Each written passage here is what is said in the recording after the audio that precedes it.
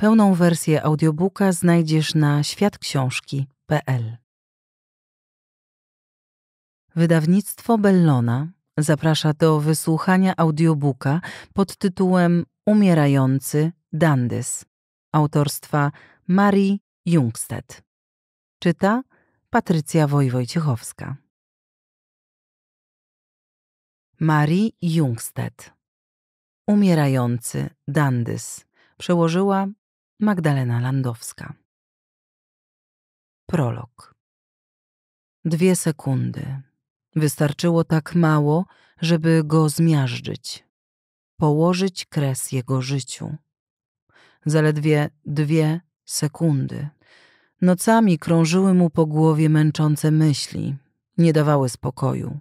Od wielu tygodni nie pozwalały spać. Dopiero na granicy dnia i nocy nadchodził w końcu uwalniający sen. Przez kilka godzin mógł odpocząć. Gdy się budził, wracało piekło. Jego własne, przeżywane w samotności inferno, które szalało pod powłoką opanowania. Nie mógł z nikim dzielić tego cierpienia. Nie było to możliwe. To podczas tamtych dwóch sekund spadł prosto na głowę w najczarniejszą z przepaści. Nigdy nie przypuszczał, że prawda może być tak okrutna. Minęło trochę czasu, zanim zrozumiał, co musi zrobić.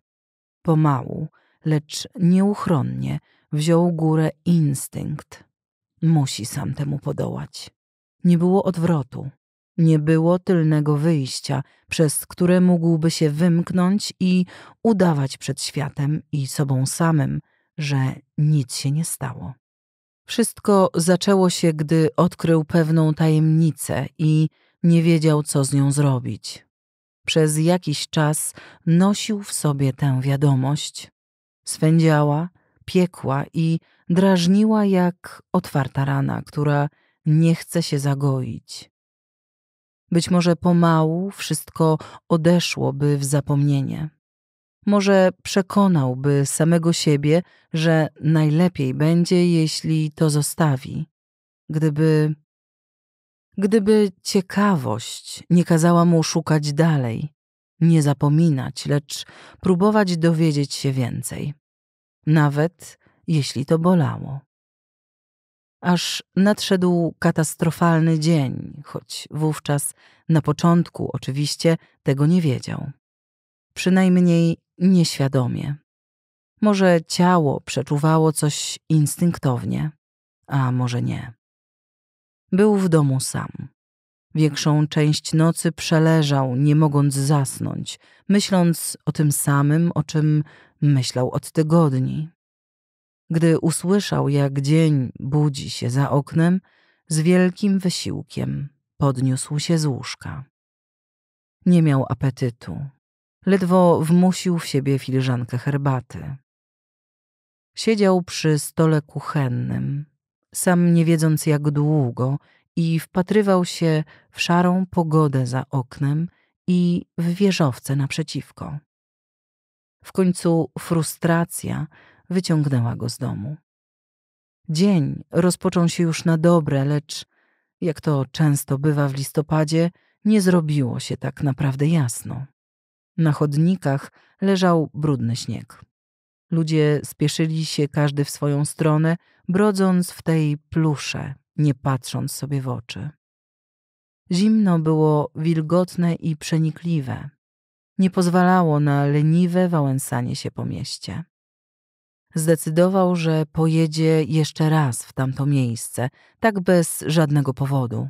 Poszedł za impulsem. Gdyby wiedział, co się wydarzy, nie pojechałby, ale wszystko było jakby z góry ustalone. Gdy dotarł na miejsce, mężczyzna właśnie zamykał drzwi. Nie będąc przez niego dostrzeżonym, poszedł za nim na przystanek autobusowy. Autobus przyjechał niemal od razu. Był pełen ludzi, dotknęli się prawie ramionami, gdy cisnęli się w przejściu między siedzeniami. Przed domem towarowym Nordiska Kompaniet Mężczyzna wysiadł i zdecydowanie przedarł się przez tłum ludzi czekających na przystanku. Żwawym krokiem skierował się w stronę centrum miasta, w swoim eleganckim wełnianym płaszczu z apaszką niedbale przerzuconą przez ramię, paląc papierosa. Nagle skręcił w jedną z bocznych uliczek. Mężczyzna nigdy wcześniej tędy nie szedł. Puls przyspieszył. Trzymał się z tyłu w odpowiedniej odległości. Dla pewności szedł drugą stroną ulicy. Stamtąd też doskonale go widział. Nagle go zgubił. Szybko przeszedł przez ulicę. Znalazł tam blaszane drzwi, tak niepozorne, że zlewały się z obskurną fasadą. Dyskretnie rozejrzał się na boki. Mężczyzna musiał zniknąć za tymi drzwiami. Zdecydował się pójść jego śladem. Gdy naciskał klamkę, nie zdawał sobie sprawy, że konsekwencje będą katastrofalne. W środku było niemal zupełnie ciemno. Słaba, czerwona jarzeniówka emitowała niewiele światła. Ściany były pomalowane na czarno. Strome schody ze stopniami ozdobionymi małymi żarówkami prowadziły w dół, do piwnicy. Po chwili wahania zszedł nimi i znalazł się w długim, opustoszałym korytarzu. Był on słabo oświetlony. Mógł tylko dostrzec ludzi, którzy poruszali się w ciemności w głębi korytarza.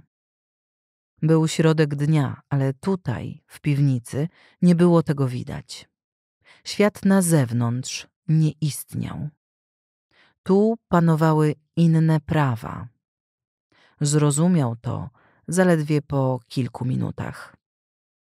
Z pozoru niekończące się korytarze tworzyły skomplikowany labirynt. Cienie postaci pojawiały się i znikały. Nie mógł dojrzeć twarzy mężczyzny, którego śledził. Wysilał się, żeby nie chłonąć umysłem tego, co widział. Próbował się bronić. Wrażenia natarczywie domagały się jego uwagi, wciskały się do głowy. Zgubił się i znalazł przed jakimiś drzwiami. Przed tymi przeklętymi drzwiami. Gdyby tylko wówczas ich nie otworzył. Zrozumienie tego, co się działo w środku, zajęło mu dwie sekundy. Ten widok miał zniszczyć mu życie. W powietrzu od samego rana wisiał niepokój. Egon Walin spał źle i przez całą noc wiercił się w łóżku. Domek szeregowy leżał nad brzegiem morza, zaraz za murami obromnymi Witzbi. Egon spędził wiele bezsennych godzin. Gapił się w ciemność i słuchał dochodzących z za okna odgłosów z wzburzonego morza. Bezsenność spowodowana była czymś innym niż pogodą. Po tym weekendzie jego uporządkowane życie miało zostać wywrócone do góry nogami, a on był jedynym, który o tym wiedział. Decyzja dojrzewała podczas ostatniego półrocza i teraz nie było już odwrotu. Jego małżeństwo z dwudziestoletnim stażem miało zakończyć się w poniedziałek. Nic dziwnego, że nie mógł zasnąć. Jego żona Monika leżała odwrócona do niego plecami, zawinięta w kołdrę. Ani jego bezsenność, ani niepogoda nie wydawały się jej obchodzić. Spała, oddychając głęboko i spokojnie. Gdy elektroniczny zegar wyświetlił piętnaście po piątej, poddał się i wstał z łóżka. Wymknął się z sypialni i zamknął za sobą drzwi. Twarz, która powitała go w łazienkowym lustrze, była niewyspana i miała pod oczami wyraźne cienie.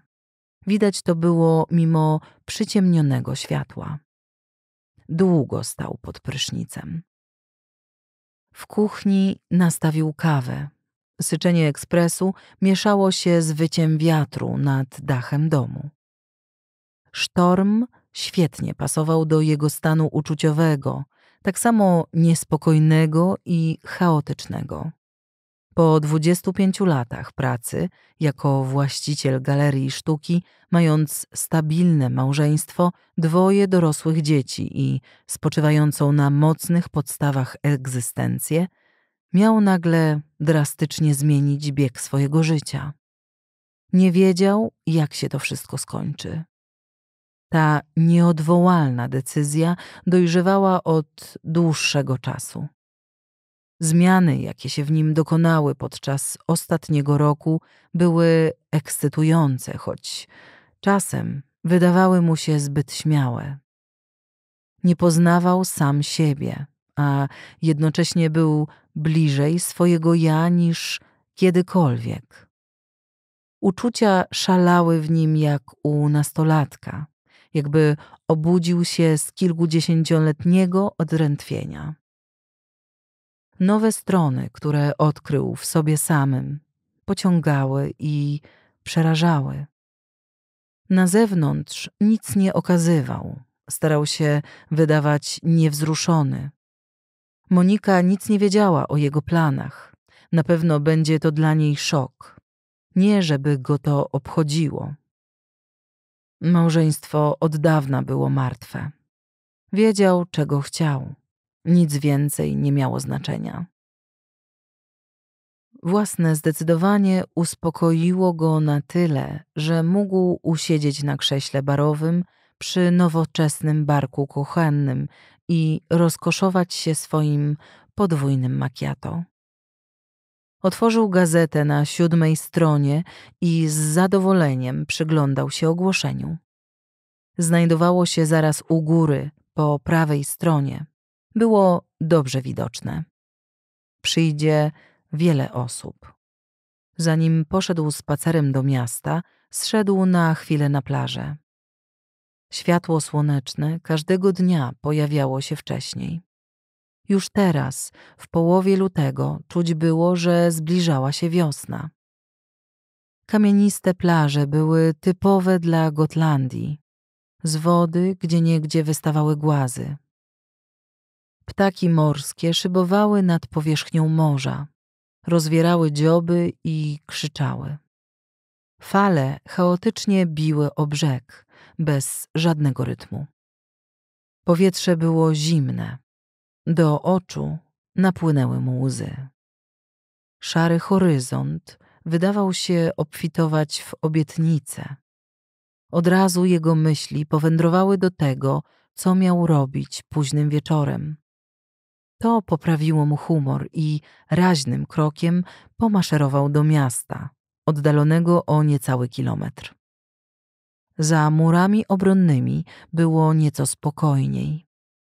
Uliczki były ciche i opustoszałe. W sobotę niewiele osób wstawało tak wcześnie. Dopiero w sercu miasta, na rynku Stora Torget, napotkał pierwsze oznaki życia. Przed supermarketem ICA Torkskassen stał samochód z pieczywem. Tylne drzwi, przez które przyjmowano dostawę, były szeroko otwarte. Ze środka dochodziło pobrzękiwanie. Gdy zbliżył się do galerii, ścisnęło mu się w żołądku. W poniedziałek miał opuścić to miejsce, któremu poświęcił całe swoje zawodowe życie. Zostawił tam swoją duszę, a liczba godzin, które spędził w galerii, była niemożliwa do określenia. Przez chwilę stał na ulicy i przyglądał się fasadzie. Duże, nowoczesne okna wychodziły na rynek i ruiny kościoła świętej Katarzyny z XII wieku. Budynek galerii został zbudowany w średniowieczu w środku znajdowały się sklepienia i podziemne przejścia z tego samego okresu. Aby uzyskać kontrast z tym historycznym otoczeniem, urządził galerię w nowoczesny sposób, używając jasnych, lekkich kolorów i dodając pojedyncze, nietypowe detale, które nadawały galerii swoisty charakter. Odwiedzający często chwalili go za to wyszukane połączenie starego i nowego. Otworzył drzwi do galerii. Wszedł do biura i zdjął płaszcz. Nie dość, że był to decydujący weekend w jego życiu prywatnym, był to także czas pierwszego wernisażu w tym roku, który miał być także jego ostatnim. Przynajmniej tutaj, w Witsby. Sprzedaż galerii przeszła przez wszystkie prawne zawiłości i nowy właściciel podpisał umowę. Wszystko było gotowe. Jedyną osobą na Gotlandii, która wiedziała o tej sprzedaży, był on sam. Popatrzył na lokal. Obrazy wisiały na swoich miejscach. Poprawił jeden z nich, który się przekrzywił. Zaproszenia zostały wysłane z wielotygodniowym wyprzedzeniem i duże zainteresowanie jeszcze przed wernisażem wskazywało na to, że przyjdzie wiele osób. Wkrótce będzie na miejscu firma cateringowa z zakąskami. Ostatnia kontrola obrazów i ich oświetlenia, do którego przykładał wielką wagę. Obrazy były rozmieszczone z wielką starannością, rzucały się w oczy swoimi intensywnymi kolorami. Ekspresjonistyczne i abstrakcyjne, przepełnione młodzieńczą siłą i energią, Niektóre z nich były brutalne, pełne przemocy i przerażająco mroczne. Artysta Matis Calvaris był młodym Litwinem i dotychczas nie był znany w Szwecji. Jak na razie wystawiał obrazy tylko w krajach bałtyckich. Egon Walin lubił stawiać na nieznane karty, na nowych artystów, którzy mieli przed sobą przyszłość. Podszedł do okna, żeby ustawić w nim czarno-biały portret Matisa Calvalisa. Gdy podniósł wzrok i spojrzał na ulicę, zobaczył mężczyznę stojącego w pewnym oddaleniu i patrzącego prosto na niego. Był ubrany w luźną, czarną, pikowaną kurtkę. Na głowie miał dzianą czapkę naciągniętą aż po oczy. Najbardziej zadziwiające było to, że w środku zimy miał wielkie czarne okulary przeciwsłoneczne. Dzisiaj nie było słonecznie. Dziwne. Stał tam tylko i nic nie robił. Może na kogoś czekał? Egon Walin kontynuował niewzruszenie swoje zajęcia. Lokalne radio nadawało piosenkę Lil Babs, czy też Barbro Svensson, jak wolał ją nazywać. Uśmiechnął się lekko, poprawiając jeden z najbardziej brutalnych obrazów z prawie że pornograficznym tematem. Cóż za kontrast do piosenki Czy jesteś jeszcze we mnie zakochany? Klas Goran? Gdy znów odwrócił się w stronę ulicy, drgnął. Mężczyzna, którego widział w oddali, zmienił miejsce. Stał teraz tuż przy szybie wystawowej, tak że czubkiem nosa prawie dotykał szkła. Obcy patrzył mu prosto w oczy, ale nie wykonywał żadnego ruchu, żeby go pozdrowić. Agon automatycznie cofnął się i zaczął nerwowo rozglądać się za czymś do zrobienia. Udawał, że poprawia ustawienie kieliszków, które stały tam od poprzedniego wieczoru i półmisków na przystawki, które miała przywieźć firma cateringowa. Klas Goran się skończył i w radiu zabrzmiał Magnus Ugla, który śpiewał hałaśliwą piosenkę z lat osiemdziesiątych. Egon Walin kącikiem oczu widział, że tajemniczy mężczyzna stał w tym samym miejscu, co wcześniej. Ogarnęło go nieprzyjemne uczucie. Czy to jakiś psychol z zakładu świętego Olofa? Nie miał zamiaru dać się sprowokować temu idiocie. Wkrótce sobie pójdzie, pomyślał. Znudzi mu się, jeśli nie będzie mnie widział. Drzwi były zamknięte, tego był pewien. Galerię otwierali dopiero o pierwszej, bo dziś był wernisaż. Wszedł schodami na górę do biura i zamknął drzwi. Usiadł i wyciągnął jakieś papiery, ale niepokój go nie opuszczał. Musi coś zrobić. Zmierzyć się z mężczyzną na ulicy, dowiedzieć się, czego chce. Zdenerwowany, że mu przeszkodzono, podniósł się i szybko zszedł na dół. Gdy podszedł do okna, zobaczył jednak, że mężczyzna sobie poszedł. Z westchnieniem ulgi powrócił do swoich zajęć. Pełną wersję audiobooka znajdziesz na światksiążki.pl